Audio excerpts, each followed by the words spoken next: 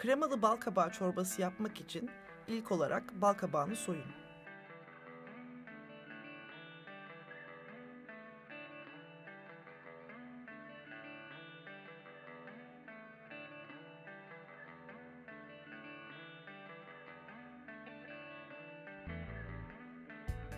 Etli kısmını mümkünse aynı boyutta olacak şekilde büyük küpler halinde doğrayın.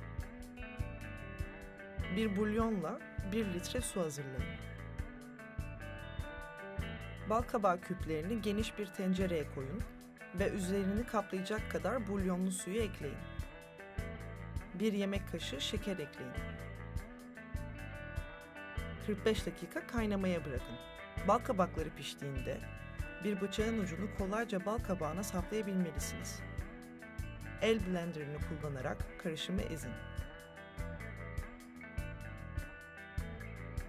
Daha koyu bir yoğunluk elde etmek için 2 yemek kaşığı patates nişastası ya da suda seyreltilmiş mısır nişastası ekleyebilirsiniz.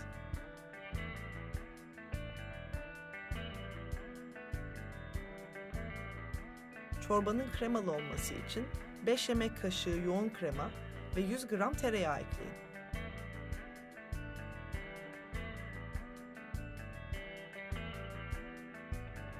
Tuz ve karabiberi ekleyin ve tercihinize göre servis etmeden önce bir tutam maydanoz, kişniş veya muskat serpin.